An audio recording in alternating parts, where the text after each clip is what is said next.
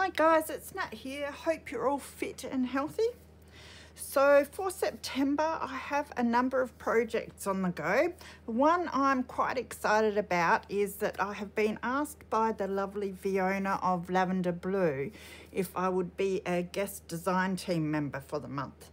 Um, which I was more than happy to do and I absolutely love the kit she's come out with.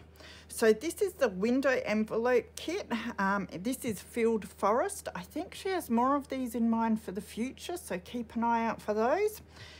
Now, this one, is absolutely beautiful. She's had the idea to make a kit that you can use to decorate your windowed envelopes. Uh, so your business envelopes like this one.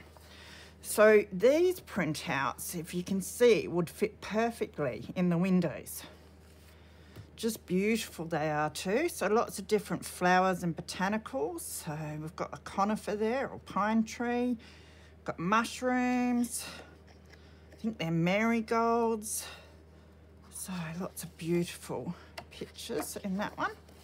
So it looks like there's eight of them on that page and then eight on this page as well. I think in total there's five or six. I think it's five pages in this kit. So there's another one with the window size bits and pieces. Beautiful colours. Heaps of fun.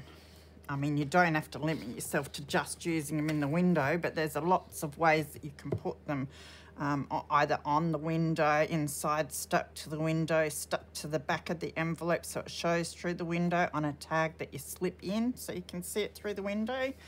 But otherwise, just on tags or to embellish anything, they would be beautiful.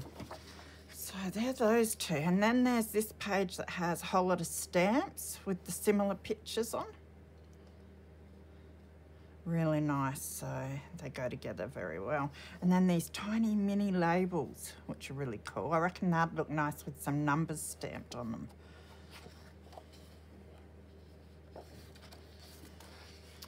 Then we've got two pages of just the bigger botanical pictures that are matching again.